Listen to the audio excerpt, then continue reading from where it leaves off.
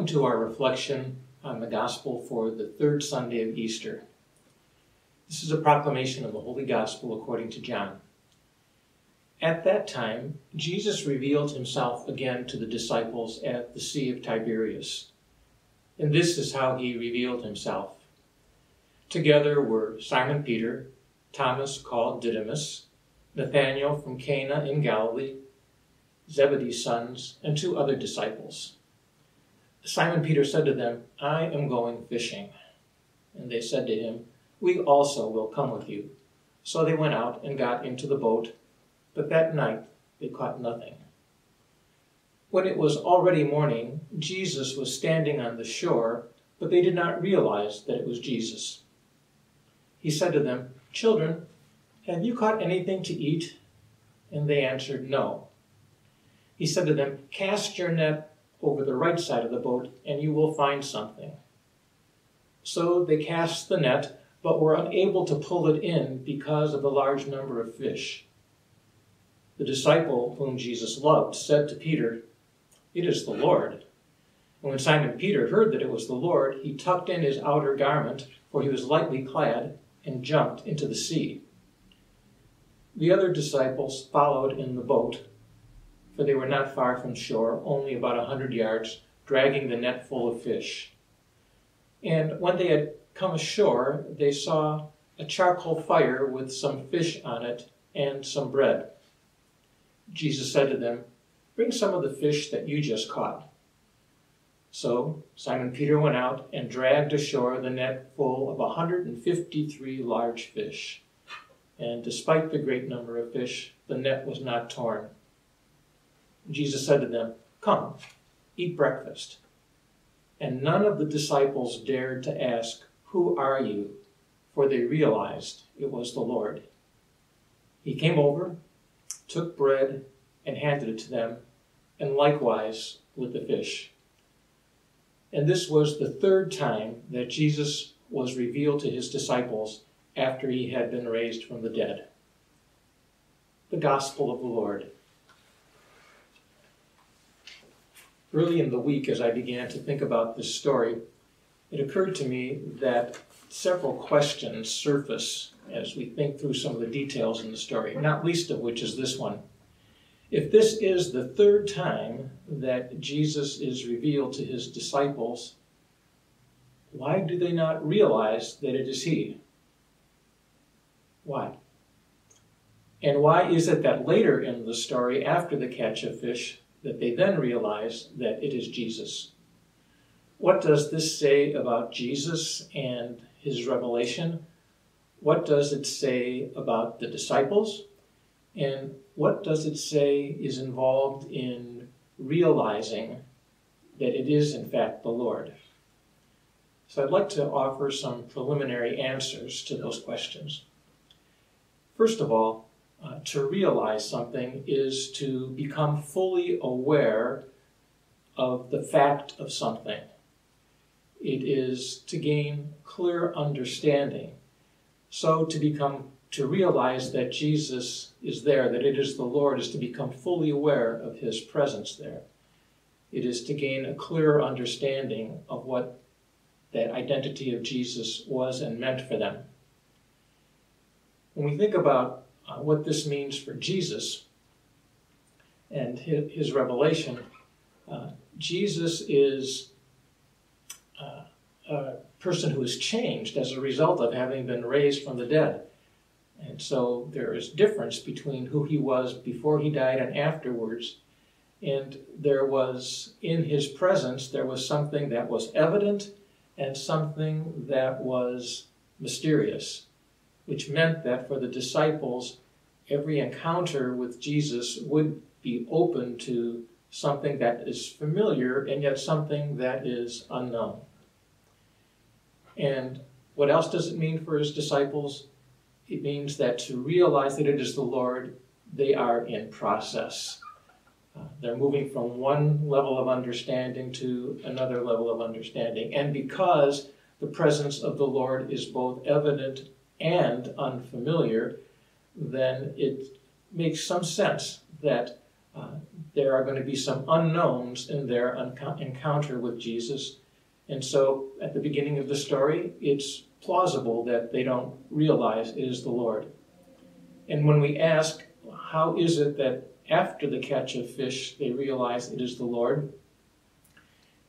Uh, I think it has something to do with, and this is only speculation on my part, but I think perhaps they remembered the experience they had with the feeding of the 5,000 with just five loaves and a couple of fish. They had witnessed the apparent multiplication of fish in that story, and the imagery in this story is evocative of the story of that feeding. And so I think the sign value in that prior story had something to do with the disciples now being able to realize it is the Lord. I thought about this early in the week, and it just so happened that unexpectedly on Wednesday evening, I had a conversation that had a kind of resonance with this gospel story, kind of surprising resonance, because it, as I reflected on it, it involved someone realizing what it means to be able to recognize the Lord present in their midst. Uh, my conversation partner was a young woman, probably in her late 20s, maybe early 30s at the latest, who was a healthcare professional. And she was someone who takes her faith very seriously and uh, is Catholic and was hoping to find a partner who would also take his faith seriously a faith that they could share with each other and ultimately with any children that they might have. So she found a promising partner uh, about a year and a half ago, and they have been growing together. Uh, but there are some issues that have surfaced because she is Catholic and he is Baptist. And she said one of the things they do is that although they have considerable overlap in their beliefs, there are some things that uh, they have differences over.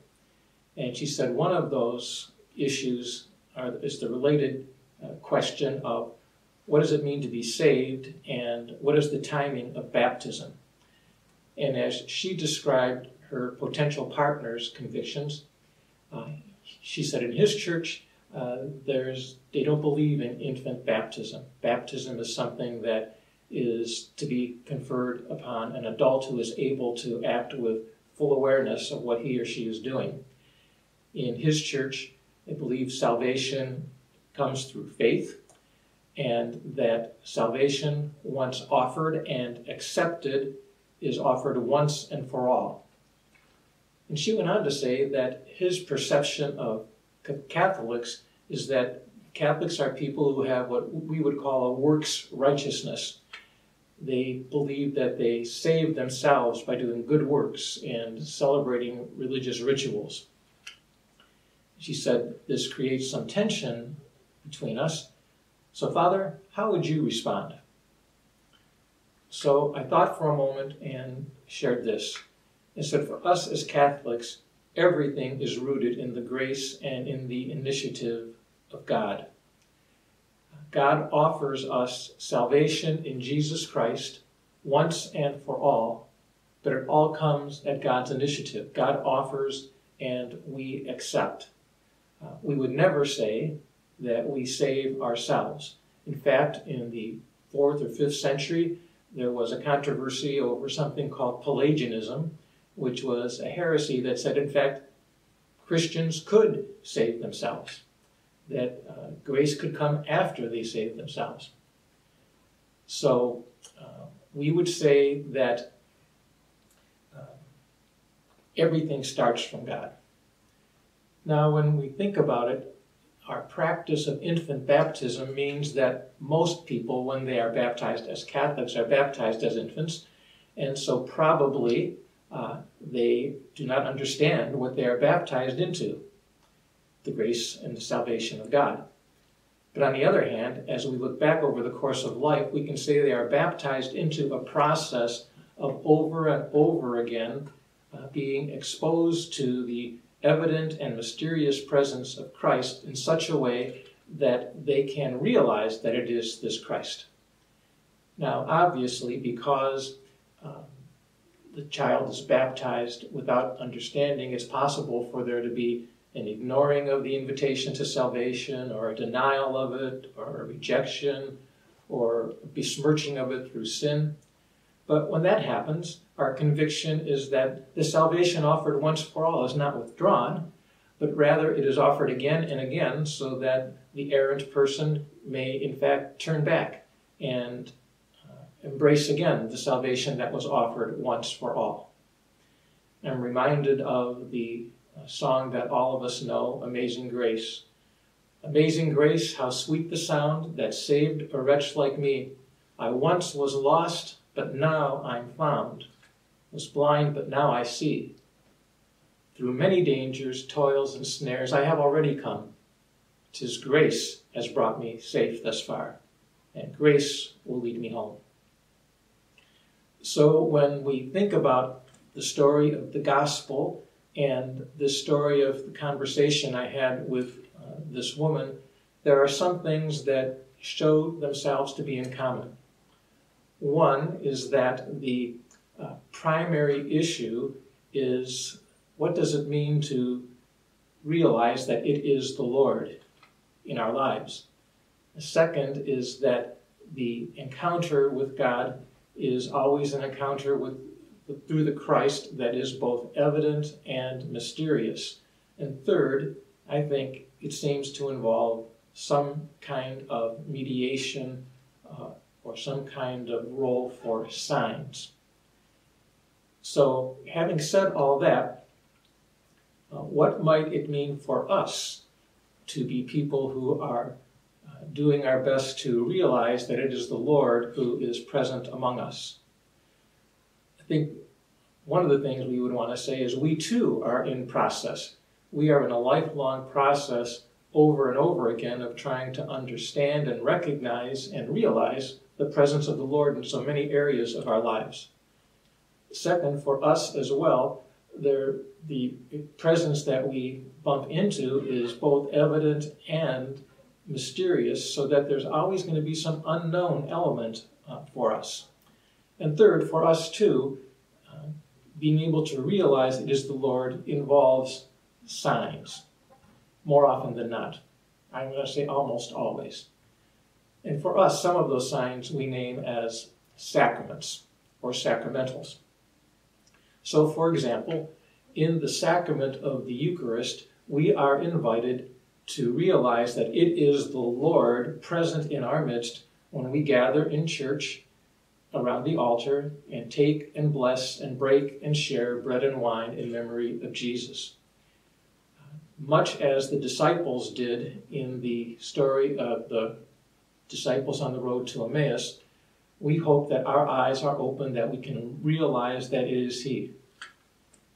However, uh, as in the story of the disciples on the road to Emmaus, once their eyes were open, he vanished from their sight because they didn't need their sight to recognize he was present in their midst.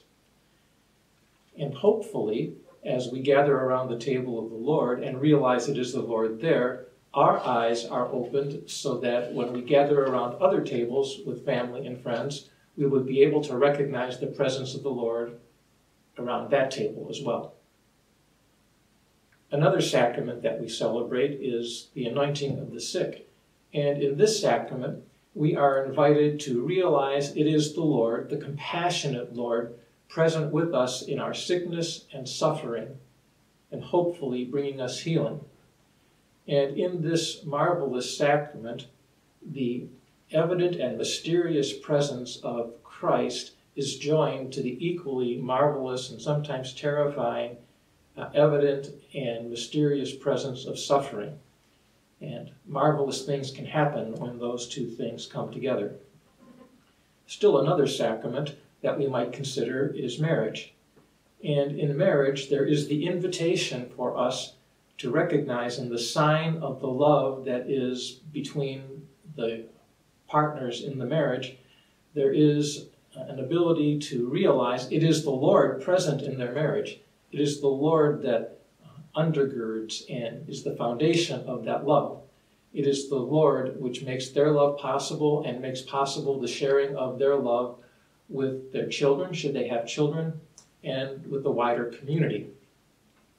So when we think about what it means to realize it is the Lord and the role that sacraments might play in helping us to do this throughout the course of life, uh, we can realize that sacraments are not so much things that we get that give grace, but rather they are symbolic actions which help us enter into and to realize this evident and mysterious presence of Christ in our midst. And as we celebrate these sacraments over and over again, what actually happens is we are drawn to accept again and to claim again that salvation that is offered to all of us once for all through Jesus Christ. So, by way of wrapping this up, I think today's gospel story invites us to be attentive to opportunities to realize that it is the Lord present among us. Be adventuresome to enter into the mysterious quality of that presence with both trepidation and excitement.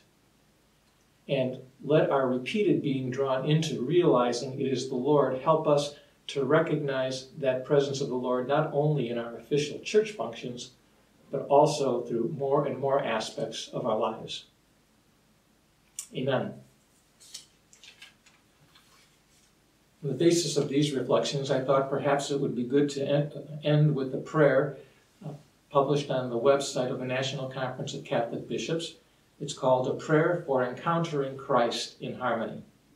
So let us pray. God of all harmony and source of our faith, loving Father who chose us to be your own and formed us together as one family in Christ, send forth your Spirit among us.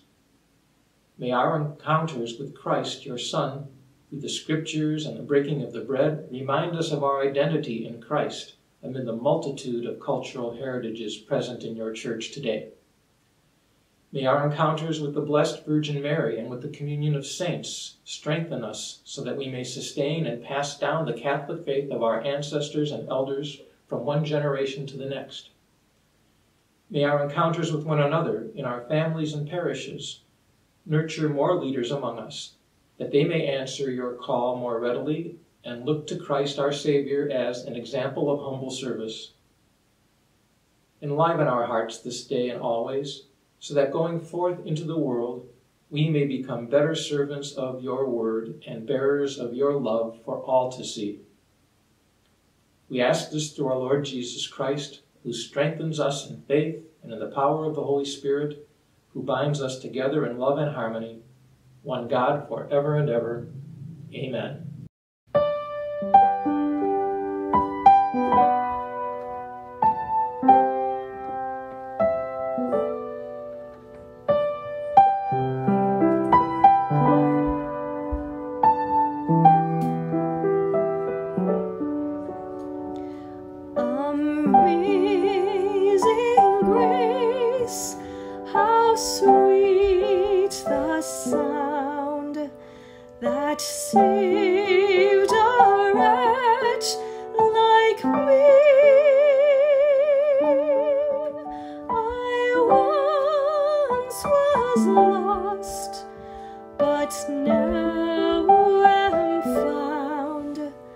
was blind, but now.